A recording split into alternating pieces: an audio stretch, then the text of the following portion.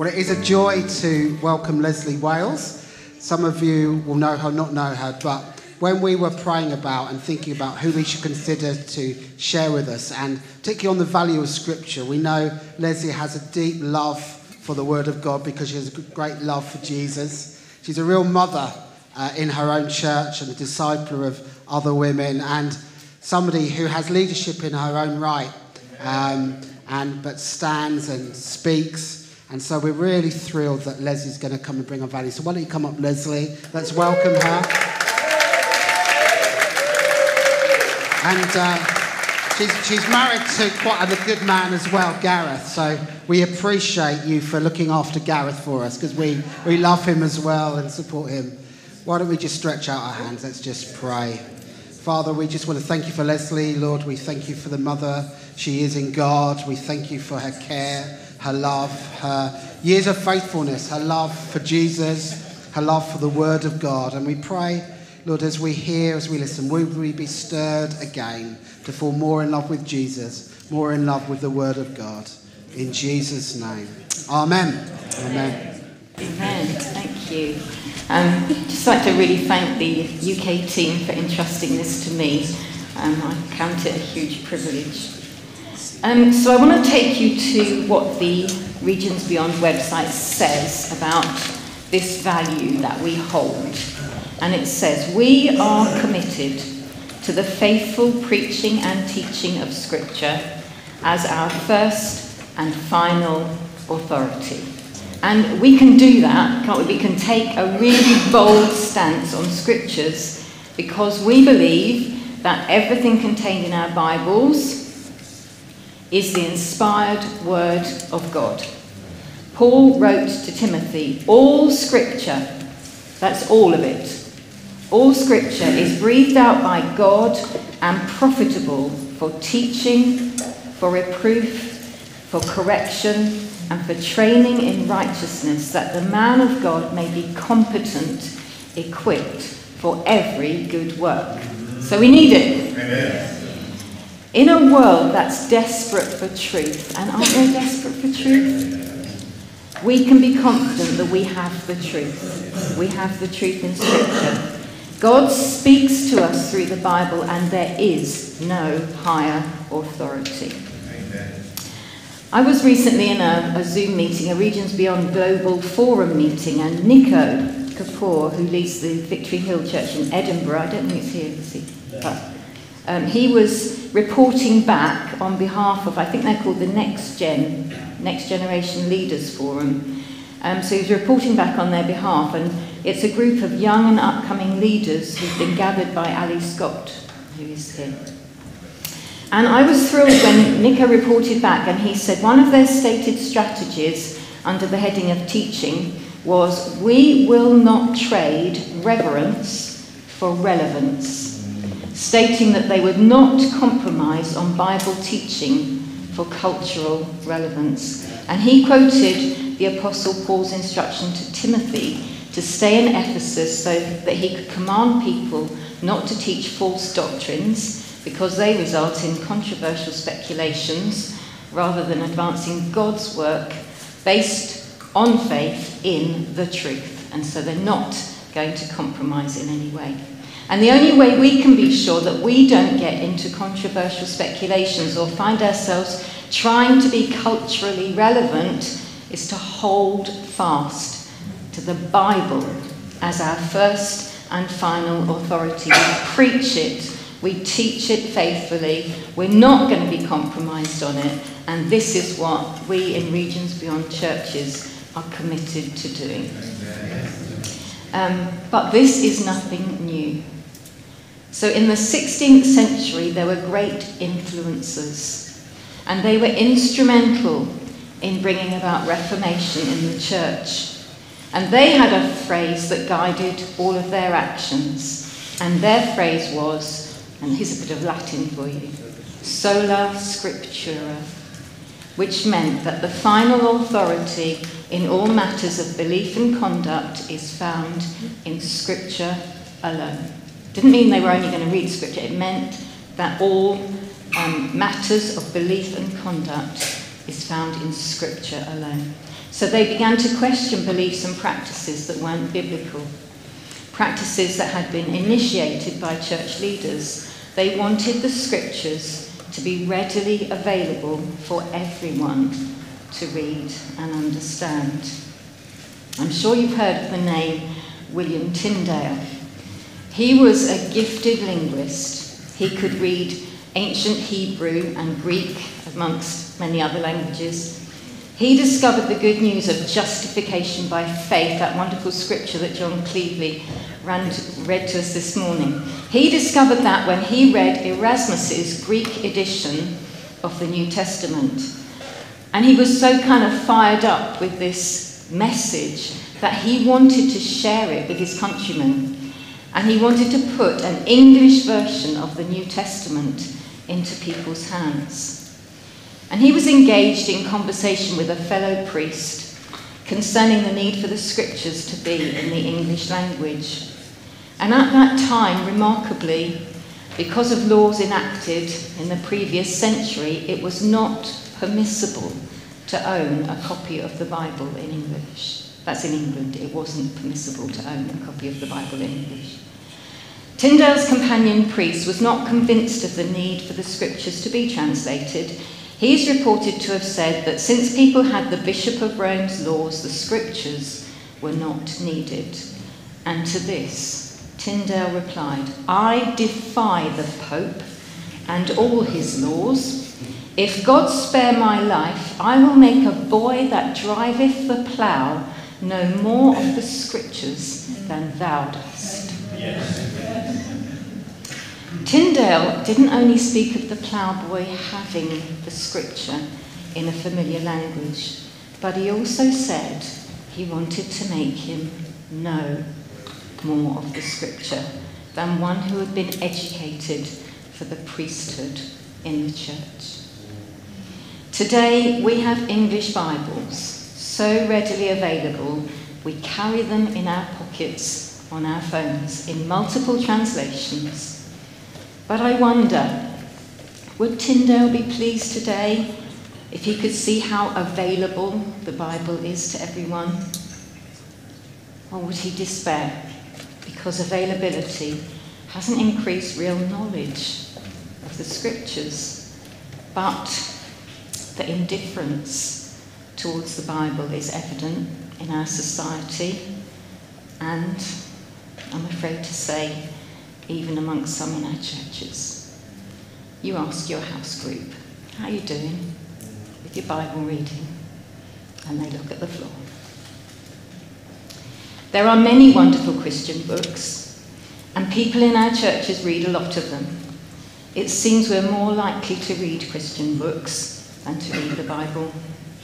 But the Bible is the all sufficient, life giving book that we need the most.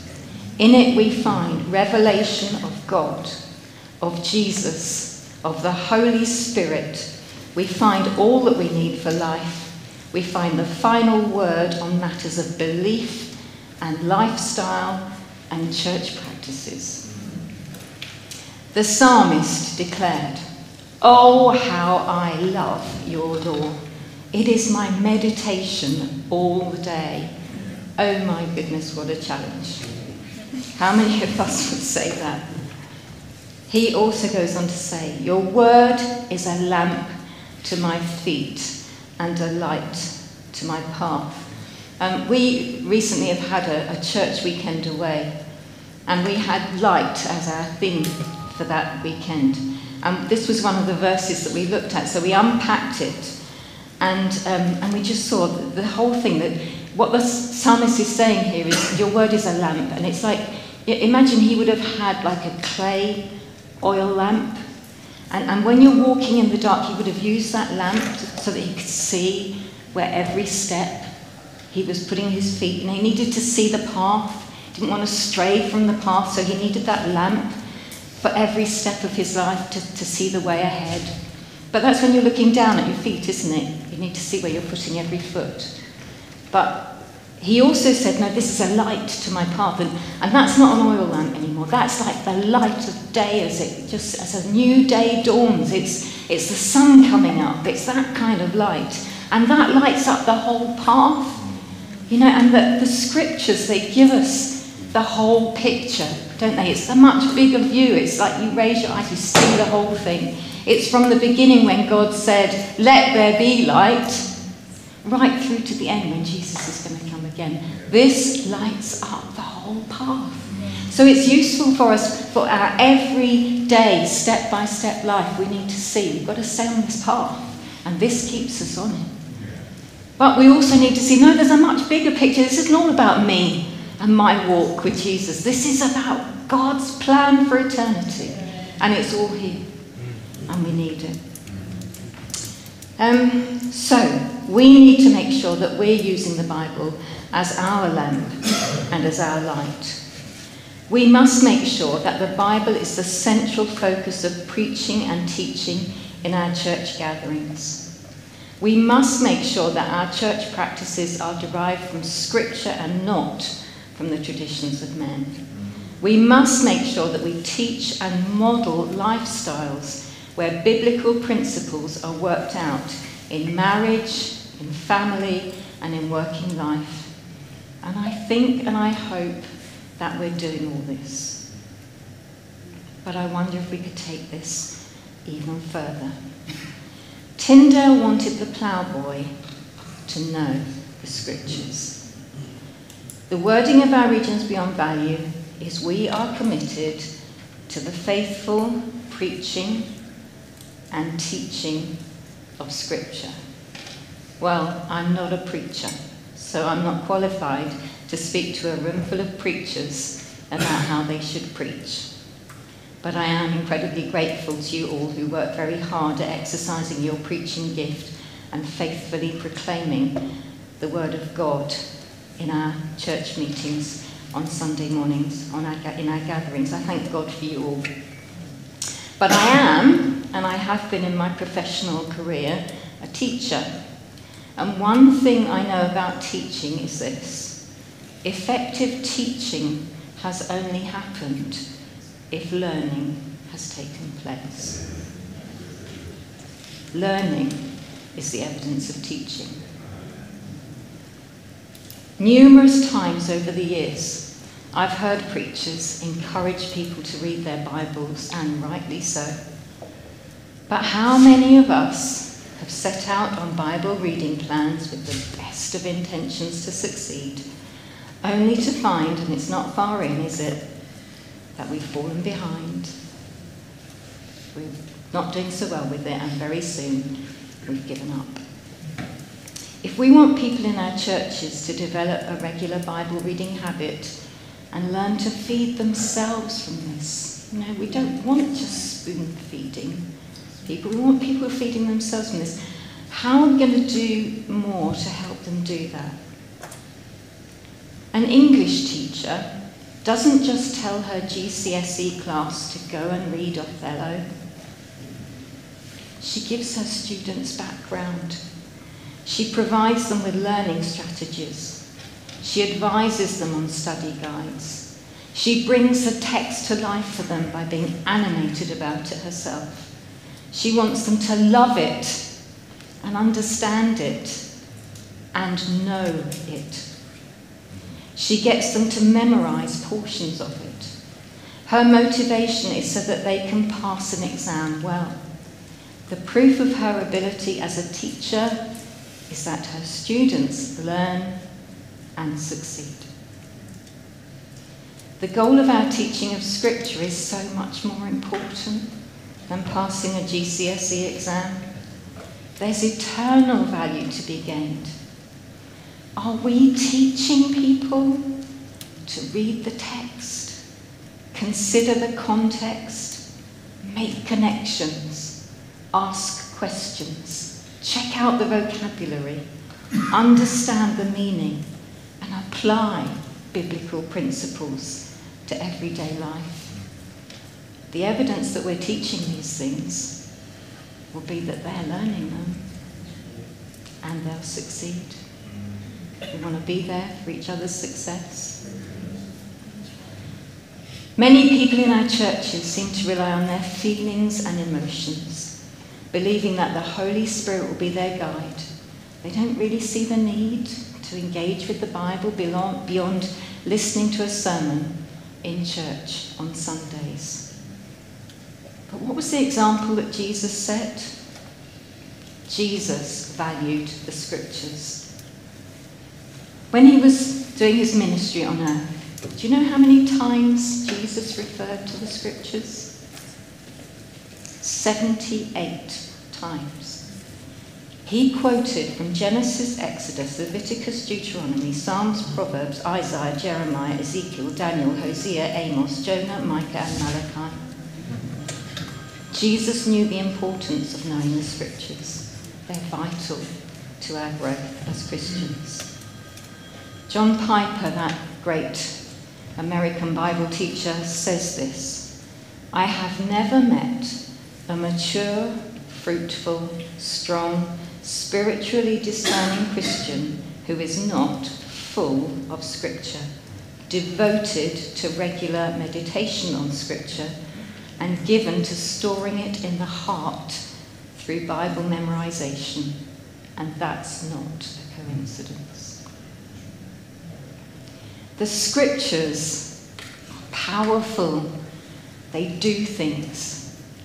Jesus said to Jewish believers, if you abide in my word, you are truly my disciples, and you will know the truth, and the truth will set you free. Wow! If you get to know the truth, the truth sets you free. People can be bound up by many things, but freedom comes as we know the truth and we find the truth in the scriptures. Perhaps this was more like what Tyndale had in mind. Not just reading the truth, but knowing the truth. He wanted the ploughboy to know it. And once the ploughboy knows it, the ploughboy's got this liberty, this freedom. Another one, Jesus prayed to his Father, his disciples, saying, Sanctify them in the truth. Your word is truth. The Word of God sanctifies us. It helps us to become increasingly holy and sets us apart for service to God. We've already looked at the verse in 2 Timothy that tells us that Scripture is profitable for teaching, for reproof, for correction, and for training in righteousness. I don't know about you, I need all those things. If we want to become competent and equipped for every good work, then we need the Scriptures. Isaiah tells us that the word that goes out from God's mouth will accomplish what he sends it out to do. It will not return to him empty, but will succeed in the thing for which he sent it. So, the power to set free, the power to sanctify, the means of being equipped for every good work, and the power to accomplish God's desires for us is in the Word. It's not in our efforts to change ourselves or others. The Word will do the work. But without the Word, our growth will be stunted. If the Word of God is this powerful, this effective, this important, then surely we all need to know the truth in our minds, know it in our minds, and treasure it up in our hearts. We had a lovely prophetic word few months ago, didn't we? And a lovely lady called Ali in our church, she said, I'm going through a really, really tough time I'm feeling very low. She said, but I've got some treasure in my heart. I know where to go when I'm really low. I've got treasure in my heart. Because she'd stored it there. We need it. As leaders, I think our responsibility is to make the word as accessible as we can to everyone. Who was Tyndale's ploughboy? He was not a man in training for the ministry. He was an ordinary, young, uneducated, regular guy working hard at his everyday work. And Tyndale wanted him to know the scriptures. I loved what Dan said yesterday about uh, being intentional about diversity, and I think that includes people of different intellectual capacity as well. I loved what Joy said yesterday about being there for one another's success. That means people of all intellectual capacities. We want to see them succeed. I want to see the ploughboy know the scriptures just as much as the one who's being trained for the ministry. So, how are we going to do this? I think, first of all, we've got to treasure it ourselves. We should be those who love and treasure the Word of God. We should model our love of the Scriptures to others. People need to see Bibles in the hands of preachers, and I love it when a Bible, when a preacher has a Bible in a book form. I, I you know, yes, it's on the phone, but hey, you can't underline it on your phone, and you know, it, it, I, I like to see the book Bibles. Was a bit shocked when Fuzzy said, I'm not actually going to read it. I thought, what? You're a Christian, you read a Bible? so I think people need to see that Bibles in the hands of preachers, Bibles being read at prayer meetings, Bibles being used by those with prophetic gifts. But we also need to be practicing this ourselves in the secret place at home, with the door closed when we spend time in God's presence not just when we're preparing to teach or preach. We can't expect others to do what we don't do ourselves. We need to make sure that God's word really is our delight, our lamp, our light. Model a love of scriptures. You can even start with children. I used to love it when I was in when I was doing Sunday school work. We would invest in Bibles. We'd give Bibles as soon as a child was reading, we'd give them a Bible, a children's Bible. I've done some pictures there of good ones. Um, so that we can show them, well, this is a Bible, it's made up of 66 books, and they're all together in this one binding, and uh, we can show them how the books relate to each other, and, and we can demonstrate how to look up Bible references with them. We can let them follow the text as we read the accounts of these great Bible heroes so they, they know this is different to other stories they hear. This is God's Word.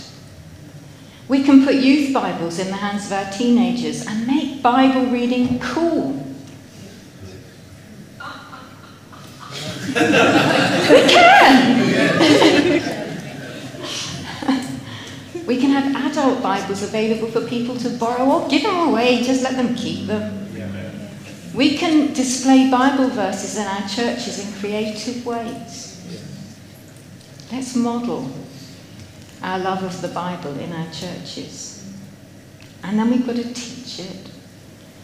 Paul gave Timothy this instruction do your best to present yourself to God as one approved, a worker who has no need to be ashamed, rightly handling the word of truth. The word of God needs careful handling. Try to help everyone to engage with the word through passionate teaching. Make the Bible accessible to all by offering helpful tips and strategies that work. Some learners really value visual aids, so think creatively about how to communicate Bible truths with everyone effectively. On our church weekend away, we decided that we would not have the children's work and, then we, really like calling it children's work, do we? Children's ministry and, um, and adults. So we thought, no, we're all going to be in together. So when we did our teaching sessions, we, we just made sure it was kind of geared so that everyone could access it. And, um, and it was very visual. So we had a path on the wall and we had lights and we had all sorts of different things just to kind of make it very visual. Um, at the end of the weekend away, one of the adults came up to me and he said, On a Sunday morning, I, I, I don't take a lot. I'm a manual worker. I don't get a lot from preaching on a Sunday, but I've got that.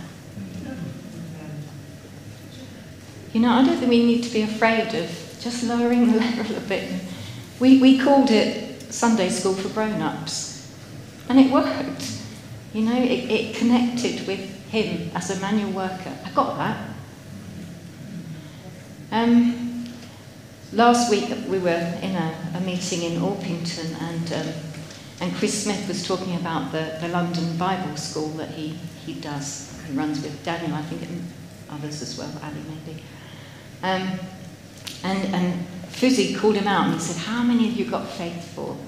And he said 30. And Fuzzy said, That's exactly the number that I was thinking that the God's placed in my heart 30. How about so, that, so then what Fuzzy did, he, he, he went round to every church leader there and he said, what have you got faith for? What have you got faith for? And so, there, and it was kind of totting it up, you know, how many have got? Four here, three here, five there. I wonder, maybe, could we send a ploughboy to Bible school? You know, maybe he couldn't write the essays, but you take somebody with simple childlike faith and you give them some Bible knowledge, and they've got all they need. Maybe they would be one of the weak and foolish things of this world. That, you know, brings such wisdom to those who just need to hear it. As effective teaching happens, we can confidently expect to see the evidence of learning taking place. The scriptures will do their work, of releasing captives, sanctifying disciples, correcting error, training in righteousness, and equipping people to do the good works that God's prepared for them to do. Encourage your competent teachers to train disciples and rightly handle the Word of God so that they're training others to rightly handle the Word of God too. Gather those who bring prophetic insights and help them to sharpen their gift with sound biblical knowledge. If we're going to weigh prophetic words, well, we need to know do they line up with biblical revelations about God and His will? We need to teach worship leaders to use Bible verses to call people into worship and to consider the songs they choose, making sure that the lyrics are aligned with Scripture, not just the latest popular song release. Otherwise, people we might we might find that people get their theology from the songs that we sing in church rather than from the word of God and that's not a good thing the bible should be the plumb line for everything that we do in our churches we're all aware that Bible study is a spiritual discipline and that we're in a spiritual battle. We have an enemy who wants to keep us from our Bibles, and he's been too successful at doing it in the past. No discipline's pleasant, but it can be wonderfully beneficial. I wonder if we've been so wary of being legalistic about Bible teaching that we've become too lax about it to our detriment. I hope we can share Tyndale's passion for every ordinary, regular guy, ploughboy, to know the scriptures, to see his vision fulfilled for everyone in our churches. We say we are committed to the faithful preaching and teaching of Scripture as our first and final authority. Let's renew our commitment to see this value wonderfully in evidence in every Regions Beyond church. Amen.